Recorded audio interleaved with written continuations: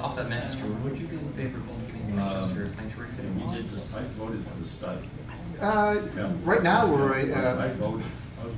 I- I think we should accept people. Yes, I think we should. I I think uh, we were in Bow we're going on Saturday, there was a family that just became US citizens, and I think that's a great thing and a great process to bring people from other countries into this country and make them American citizens and and welcome them, open armed and help them